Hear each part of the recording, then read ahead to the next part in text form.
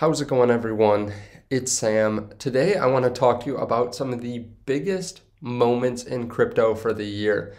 Now, first of all, Merry Christmas. uh, I just wanted to say that right off the bat. Happy holidays. I hope you're all having a great time with friends and family, but I realize that there is some time in between, maybe, that you want a little bit of crypto content. So I want to show you some of the biggest things that happened this year, in my opinion, and there's there's been a lot that has happened this year. Like this has just been an insane year for crypto. So we'll get into it. If you guys don't mind hitting the like button, subscribe button. Also, if you guys want to try out BlockFi underneath the video, they'll pay you up to $250 and they run different promotions all the time to give you free Bitcoin. Depending on if you will trade a certain amount, they'll give you a bonus of Bitcoin. So check out that link underneath the video. Now let's take a look at some of the top moments of the year. Now I found this article on it, and I thought today would be a good day to do it. Uh, you know, nothing too serious, but just looking back at how far we've come over the last uh, over the last year. First of all, the probably the biggest news: El Salvador made Bitcoin legal tender. This was a huge announcement, and it happened in June, which was kind of an interesting time for crypto, honestly. It was a time when a lot of us were kind of worried because a lot of crypto had fallen down. But we've seen them continuously buy dips since then, and this has probably been one of the biggest moments in crypto's history, especially Bitcoin. Bitcoin, uh, this was huge, I think, for Bitcoin making this legal tender, and it's not in some country that has rampant inflation, uh, at least more than we have here in the US because they use the US dollar too. But it shows that countries are interested in this. Also, China bans crypto. I don't think that that's any huge news. I don't I just feel like that happens all the time. But they probably did it a little bit more than they typically do because a lot of the miners, all the miners had to leave. Which honestly, I think was a great thing for crypto overall. It was fearful at the time. A lot of people were worried. The hash rate fell down dramatically. But all these different miners went to other countries outside of China, which I think overall is good because honestly, the, the less power China has in crypto, I think the better. Saylor bet big on Bitcoin. He bought billions and billions of dollars worth of Bitcoin and really turned into uh, the speaking head or the, the speaker of Bitcoin. And he explained it in ways that people have never heard of, from talking about it being property to talking about how it's one of the only assets that will never inflate.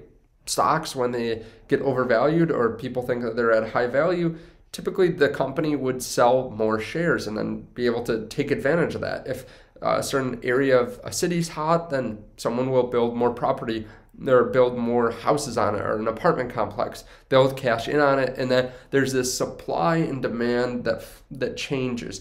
With Bitcoin, the supply is not increasing. There's a set amount. Of course, it does increase every year, but the miners are holding onto it and it can't be inflated more than it already is going to be inflated. So, Saylor brought us a lot of that kind of thinking, and he really set the trend where a lot of big companies will probably start investing into Bitcoin in the future.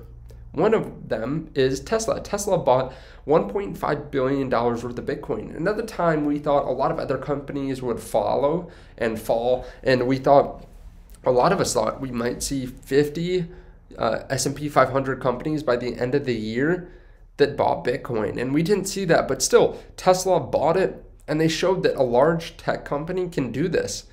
And then Poly Network had a $600 million hack, and I think this is important to look at these two because when there's a lot of opportunity, there's also a lot of scams and there's a lot of people hacking. And a $600 million hack, that was only part of what happened this year. A lot of crypto was stolen from people on YouTube, like in the comment section. There are so many scammers. Also, there are scamming live streams. Also, uh, we just have to pay attention because there's so much money flowing into the space that this is bound to happen. Now, if you guys want to see some of the top cryptos that I see for 2022, I will put that on the end screen. But I kind of talked about where I think crypto will be going over the next year and why I'm so bullish on it. There's one thing that they don't really talk about in this article that I think is really important. And we'll take a look at some of the top cryptos of the year and how much you could have made in them here in a second.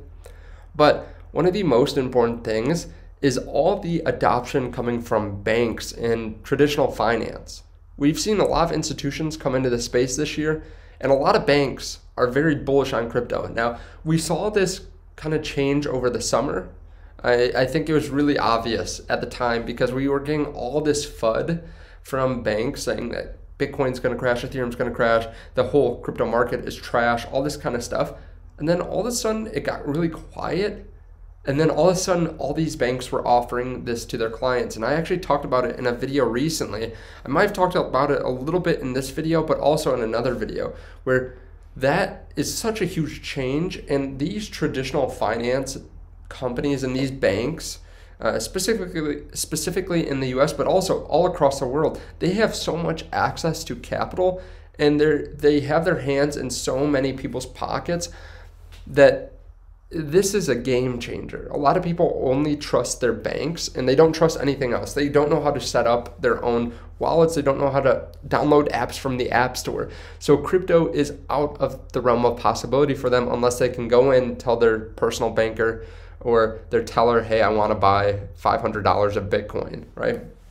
So I think that is a huge thing that doesn't get enough credit. And maybe it's because I worked in banking for years, but Uh, I think that will be a huge thing for 2022 and just the coming five and 10 years. I mean, it seems like every single country out there some bank is adopting it and they're gonna offer these crypto services to their clients, but it is something that happens slowly. It happens with a small group first.